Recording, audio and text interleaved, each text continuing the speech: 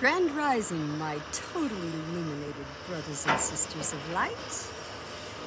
Beautiful God beings. Do you remember where we were walking a couple of days ago and I said the oasis is going in right here? Well, there you have it. Those trees that we were walking through are no longer.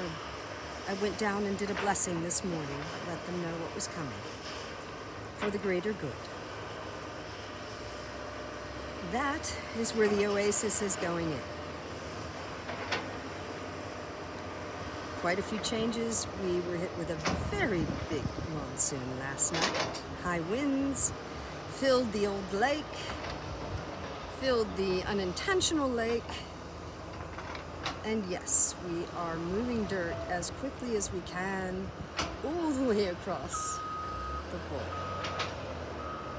Uh, I hope you watched our video yesterday when we drained this lake and we caught all the babies, the strings of eggs that had been hatched, or laid, excuse me, and uh, we're ready to start hatching. We drained them all into the big lake. So there you go. Please share, like, and subscribe. This is new to me. I'm just starting my channel over again. And um, this is all about the Oasis 13. If there's any desire in your heart to help us uh, put this together, please feel free to contact me directly. Annique of Gaia at Gmail. Love you all.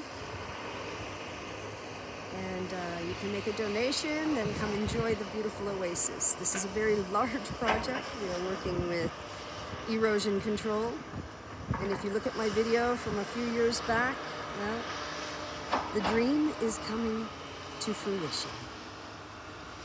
Thank you all who have participated in helping this come to be, and those who will participate in the future in helping this become an amazing oasis for the toads with permanent water all year long for us to enjoy.